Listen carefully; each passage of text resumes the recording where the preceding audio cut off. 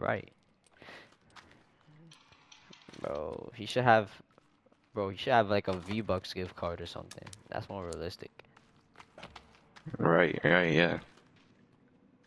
Yo, bro, look at all these hands. Yo, I'm not live, bro. Uh, I hear, should? I hear a big guy. Yo, yo, you think we should give them a Yo, hand? guys, guys, guys, guys, come over here.